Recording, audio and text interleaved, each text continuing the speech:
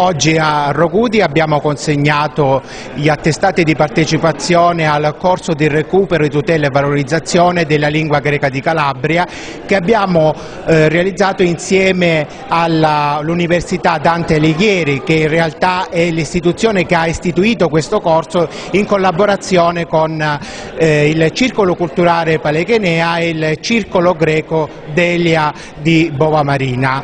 Eh, un ringraziamento particolare va a a tutti i corsisti che oggi hanno acquisito questa nuova professionalità, questa nuova specializzazione e nello stesso tempo un ringraziamento a tutti i docenti che hanno reso possibile le lezioni in, questo, in questi sei mesi.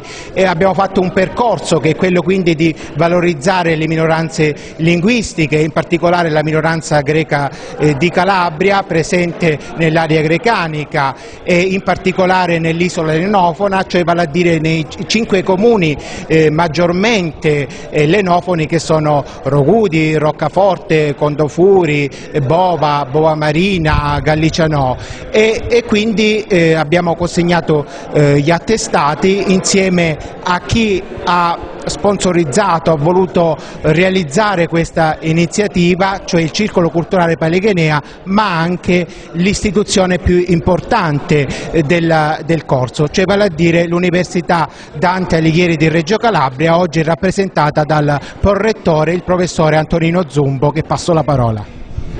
Grazie. È un momento particolare e felice per noi, nel senso che abbiamo favorevolmente appoggiato questa iniziativa del circolo presieduto dall'avvocato Maesano che ha agito in sinergia col circolo Delia presieduto dal professore Dieni manifestando così quella che è l'attenzione che un istituto di alta formazione come l'Università per Stranieri ha verso il territorio, un'attenzione particolare verso l'area grecanica e siamo particolarmente lieti che eh, si sia varato questo corso di perfezionamento che ormai è giunto, se non vado errato, alla sua terza edizione e ne avrà una quarta, nella direzione di eh, conservare la tradizione non soltanto linguistica ma la tradizione culturale di quella che è l'ascendenza eh, magno-greca o bizantina che sia, in ogni caso greca di questa isola culturale che eh, va valorizzata in quel panorama, diciamo così, della grande globalizzazione come momento di conservazione di una precisa identità culturale. Da questo punto di vista le nostre felicitazioni ai corsisti che con tanta abnegazione hanno seguito questo corso, che ha registrato la presenza addirittura di un corsista che viene da Santa Eufemia, di un altro di, che è proveniente da Cardeto, il che la dice lunga su quanto ancora la problematica culturale dell'area grecanica attiri e da questo punto di vista, caro avvocato, eh, ci sarà sempre il sostegno dell'Università per stranieri di Reggio Calabria Dante Alighieri. Oltre al corso di formazione in lingua greco-calabro, il Paleghenea ogni anno in questo periodo cerca di valorizzare le sue tradizioni. Per questo motivo il Circolo Culturale Paleghenea questa sera ha voluto realizzare i cosiddetti mercatini di Natale e la castagnata, proprio per garantire un recupero di, assenza, eh, di appartenenza a questa comunità e alle nostre eh, tradizioni. Quindi un ringraziamento a tutte le socie del Paleghenea che hanno voluto rendere omaggio dobbiamo dire, a questo momento importante attraverso i loro lavori che sono frutte delle proprie mani, proprio a mano libera dobbiamo dire e quindi è stato un piacere avvalorare, perorare quindi la loro causa e, e ciò che hanno realizzato questa sera. Ringraziamo naturalmente tutti coloro che hanno reso possibile questa iniziativa, le istituzioni ma anche i giornalisti, la televisione ed i corsisti, ma anche dobbiamo dire coloro che hanno voluto esporre, fare i mercatini nella nostra realtà di Rogudi all'interno del Circolo Culturale Paleghenea e infine naturalmente ci troviamo in un posto particolare che è l'oratorio di Rogudi. L'iniziativa è stata realizzata anche grazie alla collaborazione delle suore presenti nella nostra realtà e un ringraziamento anche al parroco, alla nostra parrocchia che hanno voluto e hanno collaborato alla realizzazione di questa iniziativa. Grazie. Siamo all'interno del circolo culturale Palea Ghenea eh, dove eh, stiamo mh, mm, visitando i mercatini di Natale. Abbiamo la signora Angela che ci spiega un attimino come... Sono una socia del circolo, è un circolo molto affiatato, molto, molto unito e cerchiamo di far risaltare un po' le antiche tradizioni e sono rauca, scusate, l'antica tradizione. Allora, abbiamo fatto un po' di cose che facevano una volta i nostri, i nostri anziani. Questi sono i tipici centrini di Utah. La signora è più, l'altra socia è più, più brava a definirli. Comunque sono i centrini di Utah, le cose che facevano una volta, presepieni. Da notare bene queste sfere di Natale, queste sfere di Natale eh, che ci sono i paesaggi proprio di Rogù di Vecchio, paesaggio di Rogù di Vecchio, Rocca del Drago, insomma siamo proprio amanti di questo paese e cerchiamo di riportarlo un po' dappertutto. Le tipiche pigne. Quindi il Natale si ritorna all'antichità, alle, alle, vecchie origini. Il nostro circolo si chiama Palea Ghenea e vuol dire antica stirpe. Palea Ghenea. Palea Ghenea, antica stirpe. Quindi appunto. E quindi queste sono tutte cose che avete fatto voi a mano, con calma? Con calma, con molta pazienza, con molto amore e anche con molta allegria, perché ci siamo divertite tanto. Certo. E questi mercatini dureranno per... È cominciato ieri questo mercatino, oggi e domani. Eh, la... È cominciato così, è un inizio, un abbozzo, per vedere come fa, è la prima volta come circolo che facciamo il mercatino, quindi è da, da organizzarci meglio. Vediamo altre... Avanti. Anche tutto questo è fatto. Gli addobbi per l'albero, diciamo. Sì, gli addobbi per l'albero sia fatto di gesso che fatti di panno lenci. Questo è un, un tipico tessuto, come si chiama? Panno, panno lenci, giusto. Tutto fatto a mano. Complimenti. Grazie. Complimenti, veramente andiamo avanti. Qui c'è la signora che ha fatto appunto... Centrini. I tipici, tipici. Ecco, i famosi tipi centrini che si mettono sul tavolo notte di Natale. Da addobbare per le feste natalizie. Vabbè, anche le cose un pochino, queste non c'erano una volta, però ecco, per... Eh, sì. Questo è anche fatto tutto a mano. L'albero di Natale con... Eh, neve. Tutti i centrini sono questi? Sì, sì, questi sì, questo è il reparto uncinetto, che è la signora, la nostra socia. Vabbè, scappa. Tutto il reparto uncinetto. Qua invece? Invece no, sono pers delle persone che sono venute ad aggregarsi con noi e non fanno parte del, del circolo. circolo. però fanno parte del mercatino. Non, dite voi, oggetti, oggettini fatti a oggetti, mano. Oggetti che servono sempre comunque sì. per questo periodo di Natale, no? Sì. Qui invece... Complimenti, andiamo avanti. Sempre cose fatte a mano, mentre qui... Eh, un attimo, qui c'è la socia che vi spiega il perché di queste, di queste iniziative. La signora Giusi, sì. eh, la signora Giusi buonasera. Eh. Salve, salve. E dunque qua stiamo facendo una raccolta per la SMA, che è una malattia rara, e sono praticamente dei pacchettini di cioccolato e con semplici 5 euro si dà una mano a questi bambini che hanno difficoltà motorie molto serie e anche merito purtroppo a qualche malato di questa malattia. Speriamo insomma che la gente venga. Quindi è un contributo? Chi... Sì, esatto, è a livello, la campagna è a livello nazionale che si fa. Questi sono tutti oggettini che avete preparato voi a mano anche per tutte, uh, fanno parte anche per questa no. iniziativa, no? S solo, solo i pacchettini? Sì, solo questa, sì. Il resto è tutto fatto a mano dalla signorina. Ecco, vediamo mentre sta facendo un cappellino, guarda, esatto. se il cameraman riesce a inquadrare. È velocissima. Velocissima, si fa in quanti minuti?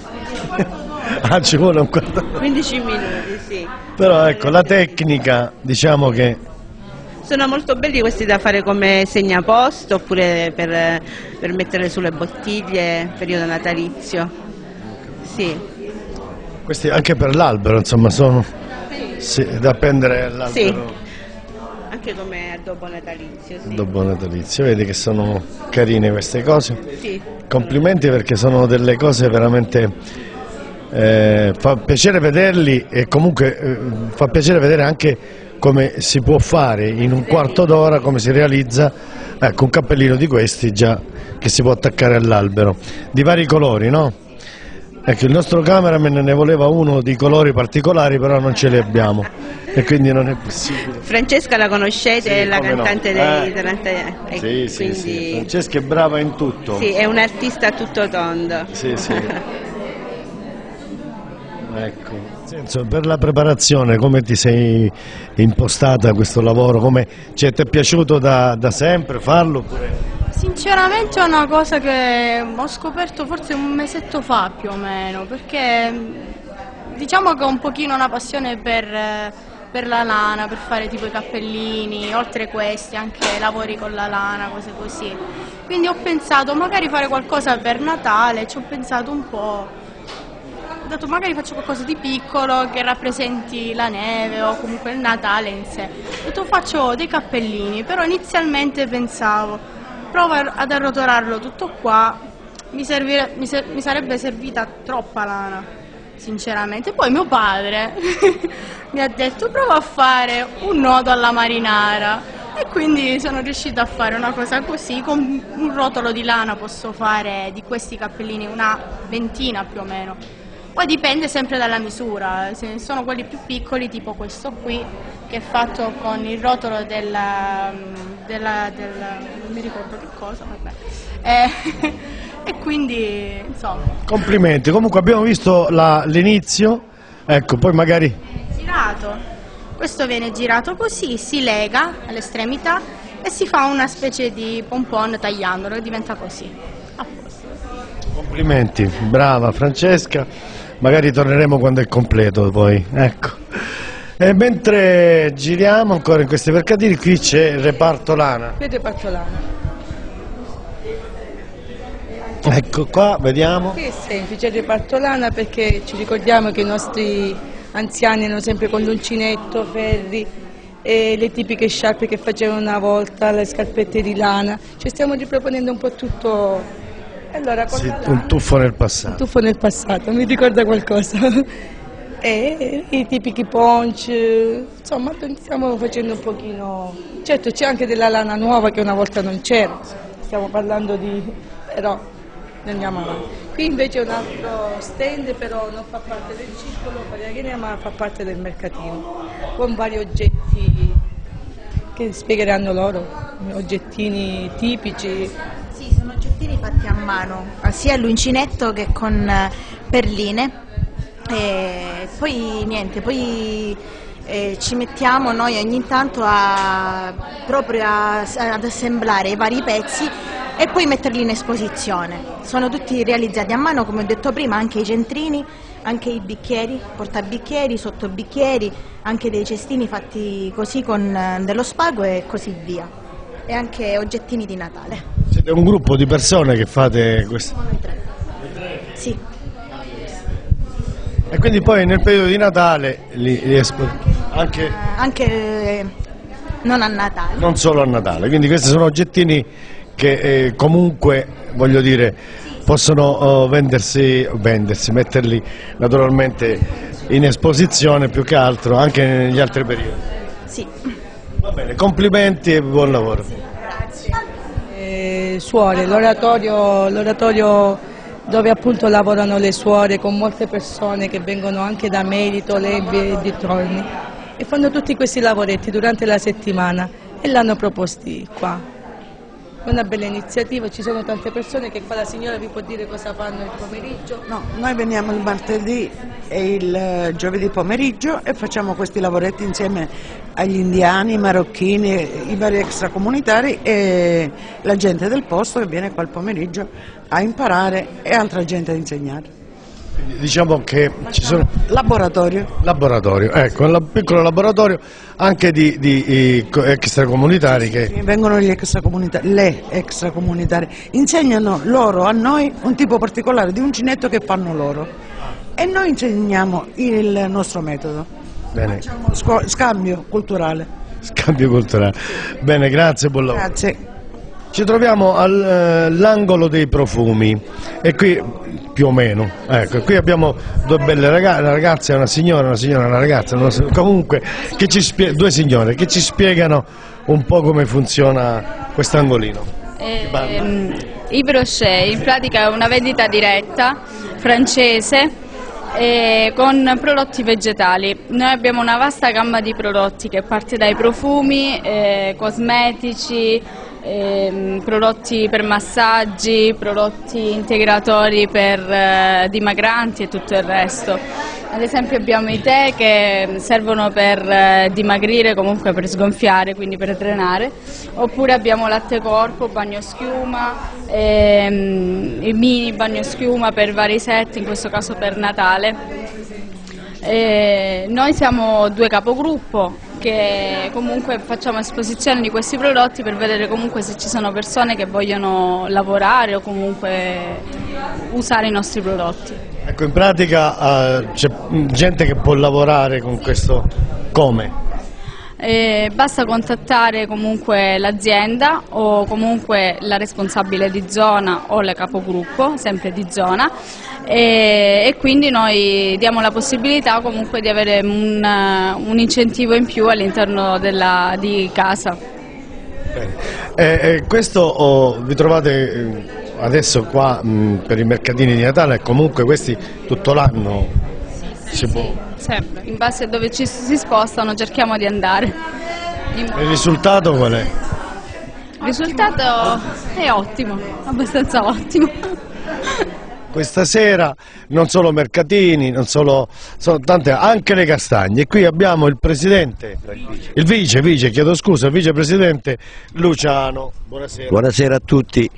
Niente, noi è il primo anno che abbiamo diciamo, organizzato un mercatino di Natale con tutti i soci, d'accordo, e abbiamo pensato stasera di fare una castagnata, che penso che sia la migliore cosa. È il periodo di Natale, le castagne vanno, cioè, noi stiamo tentando di fare il nostro meglio possibile come associazione culturale. E vediamo, quest'anno è andata così, auguriamo che l'anno prossimo la facciamo molto meglio. Perché sicuramente, bisogna partire intanto, poi piano piano. Che abbiamo iniziato a fare questa manifestazione, augurando che un altro anno continueremo ancora con molto più impegno, con molta più organizzazione, perché diciamo, eh, si è organizzato in pochi giorni e in pochi giorni diciamo, siamo riusciti a fare qualcosa di buono anche all'interno del paese, perché diciamo, Rogudi merita, merita di fare questo cioè, eh, sia come paese, sia come cittadina, sia come cultura, come, con le sue tradizioni, perché diciamo Rogudi per castagni, noci, fichi è la sua cultura, la sua tradizione come vedi. E noi abbiamo tentato di fare questo, sperando che è uscito bene, noi ringraziamo tutti i partecipanti che sono venuti, poi c'è stato anche il, le consegne dell'attestato che il nostro Presidente ha consegnato a tutti i partecipanti, auguriamo che dal prossimo anno in poi facciamo meglio e che lei è presente, signor Filippo, qua da noi, con grande piacere. Grazie, il piacere è tutto nostro. Comunque... Naturalmente, naturalmente volevo dire naturalmente che tutti i soci del Circolo Paleganea ringraziano tutti i partecipanti, naturalmente ringraziamo voi di Radio 95 per essere fra di noi e auguriamo buone feste ovviamente a, a, a tutti, tutti di cuore, tutti che un Natale Grazie porta mille. bene veramente di amore, felicità per tutte le famiglie che ne abbiamo bisogno tutti in questo periodo. In questo periodo effettivamente ne abbiamo tutti bisogno. Allora, le... Aspetta, le diamo sì. anche a lei un sacchettino così assaggia le nostre castagne come sono fatti. Certo.